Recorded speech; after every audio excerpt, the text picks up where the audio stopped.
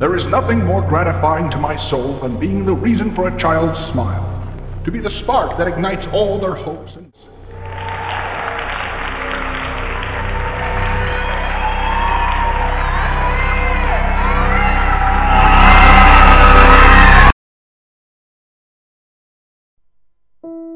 Halo guys, Arlies di sini. Lama tak berjumpa guys. Hari ini Abang kembali dengan pembahasan mengenai teaser terbaru dari Poppy Playtime chapter ketiga. Mob Games telah mengeluarkan postingan video teaser terbaru untuk seri dari Poppy Playtime dan menurut Abang ini adalah teaser terbaik yang pernah mereka keluarkan. Buat kalian yang belum menontonnya, kalian bisa melihat video ini terlebih dahulu dan abang bakal taruh sub Indonesia agar lebih jelas. There is nothing more gratifying to my soul than being the reason for a child's smile, to be the spark that ignites all their hopes and dreams. We owe everything to these children. This company and its toys are nothing without them. That is why it is with enormous pleasure that as the founder of Playtime Call I announce Playcare, our very own on-site orphanage. A child should never be left unloved, never without a hand to hold when they see a monster in their closet. May Playcare bring joy, inspiration, and smiles to every child who enters these doors.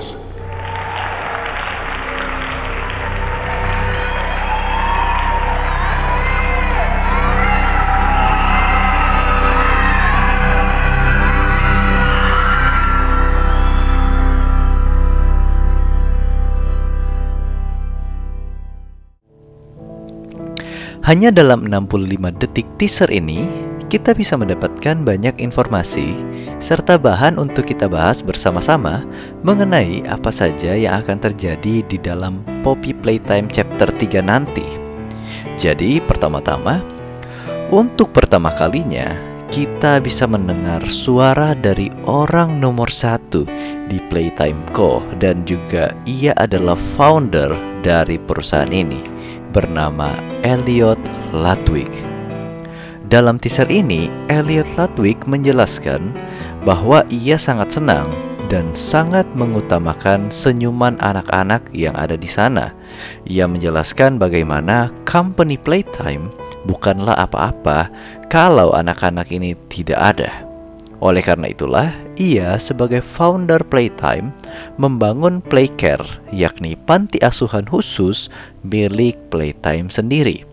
Sebenarnya guys, nama Elliot Ludwig ini sudah sering banget kita temukan di dalam Poppy Playtime. Namun untuk pertama kalinya kita bisa mendengar dengan jelas suara dari founder Playtime ini. Nah, setelah perkenalan Playcare, terdengar suara tepuk tangan yang tak lama berubah menjadi suara teriakan anak-anak yang sangat mengerikan.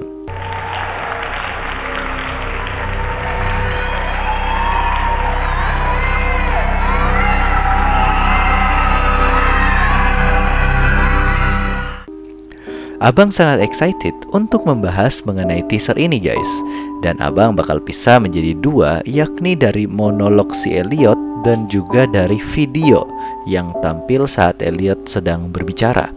Karena ini nggak bisa disatuin guys, karena video dan audionya itu masing-masing memberikan makna yang berbeda. Karena bakal sangat banyak petunjuk yang terdapat di sana. Oke, okay, jadi akhirnya kita mengetahui guys bahwa Playcare ternyata adalah panti asuhan yang dibuat khusus untuk menampung anak-anak yatim di dalam perusahaan ini dengan iming-iming memberikan anak-anak ini tempat dan juga perlindungan serta memberikan mereka harapan dan kebahagiaan. Namun guys, kita yang telah bermain game ini pasti tahu kalau perusahaan ini tidaklah sebaik itu. Pada akhir dari Poppy Playtime chapter 2, kita menaiki kereta untuk pergi ke Playcare guys. Namun di tengah perjalanan, ada yang merusak kereta hingga keretanya jatuh dan kita tak sadarkan diri. Namun sebelum kita pingsan, terlihat tulisan Playcare yang akan menjadi tempat utama pada Poppy Playtime chapter ketiga. Banyak hal mengerikan yang bisa kita tangkap dari pernyataan Elliot Ludwig, di mana ia berkata kalimat ini. This. This company and this toy are nothing without them. Sebenarnya, kalimat ini terdengar biasa saja, guys. Namun, jika kita artikan secara harafiah, maka kalimat ini memiliki makna bahwa playtime menggunakan anak-anak ini sebagai bahan dari mainan mereka. Jadi kalau anak-anak itu nggak ada, maka eksperimen itu juga tidak ada. Namun tak sampai di sana guys, hal yang paling mengerikan dari teaser ini dan membuat merinding adalah saat orang-orang bertepuk tangan Tak lama suara tepuk tangan itu berubah menjadi suara teriakan anak-anak yang sangat ketakutan. Ini memperlihatkan keadaan dari perusahaan Playtime ini, di mana orang-orang yang bertepuk tangan itu mengira perusahaan ini berkontribusi baik pada masyarakat. Padahal sebenarnya merekalah penjahat yang sesungguhnya Tepuk tangan itu memperlihatkan bahwa orang-orang di sana tidak mengetahui niat jahat dari Playtime Co. Suara teriakan anak-anak itu menurut abang disebabkan oleh mereka yang mungkin saja dipaksa untuk melaksanakan eksperimen yang sadis dan menyakitkan. Para anak-anak itu dikumpulkan di sana hanya untuk menjadi bahan percobaan mereka. Sungguh perusahaan yang sadis dan kita akan lebih melihat lagi kesadisan dari Playtime Co di chapter ketiga, tepatnya di area Playcare. Tadi guys, abang sudah jelaskan mengenai monolog dari Elliot Ludwig dan apa arti dan isi dari audio Elliot Ludwig tersebut. Sekarang kita pindah pada videonya guys dari teaser trailer ini. Saat Elliot Ludwig berbicara, ada hal menarik yang ditampilkan guys. Dimulai dari boneka Hagi, kemudian Mami Longleg yang badannya rusak terbelah dua, dan kepala dari Bron, dan terakhir yang paling menarik adalah topeng gas atau gas mask berwarna merah, biru, dan kuning yang terletak di tengah-tengah dan dikelilingi oleh mainan yang blur. Tapi dapat kita lihat di sana guys, ada Daisy, PJ Park, Banzo, Catby dan mungkin saja Boogie Bot. Oke okay guys, sebelum lanjut, Abang pengen ngucapin terima kasih untuk dukungan kalian semua guys. Abang baru saja membuat video lagi dan Abang berharap kalian terus mensupport channel ini dan terus setia menonton di channel Abang. Oh ya guys, gimana kabar kalian hari ini? Taruh di kolom komentar yang ada di bawah ya. Buat yang baru menemukan channel ini, Abang ucapkan selamat datang.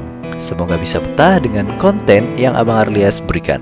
Kalian bisa support dengan cara klik tombol subscribe dan jangan lupa nyalakan loncengnya agar kalian dapatkan notif terbaru video-video terbaru Abang. Nah, hari ini karena pembahasannya Poppy Playtime chapter ketiga, Abang pengen target like-nya sebanyak 10.000 likes.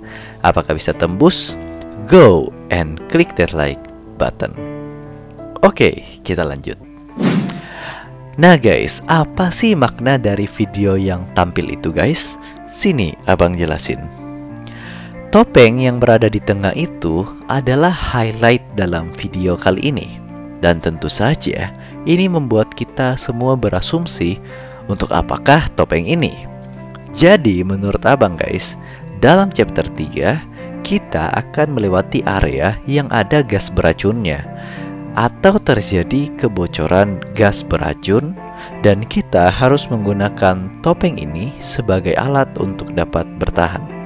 Jadi yang tadinya menjadi highlight dalam game Poppy Playtime itu adalah grepek guys. Nah sekarang diganti nih menjadi gas mask. Nah topeng gas ini tentu saja milik para ilmuwan terdahulu atau para karyawan Playtime Co yang mungkin saja sudah mati akibat penyerangan yang dilakukan oleh eksperimen 1006 dan topeng gas ini mengonfirmasi bahwa mereka menggunakan semacam gas di dalam perusahaan mereka. Nah, gas ini nih guys menurut Abang mungkin saja menjadi penyebab mengapa anak-anak itu berteriak di dalam video ini. karena mungkin saja efek dari gas ini sangatlah menyakitkan untuk anak-anak tersebut. Namun kita mungkin akan melihat lebih jelas di chapter 3 itu nanti. Oke, kemudian kita pindah guys.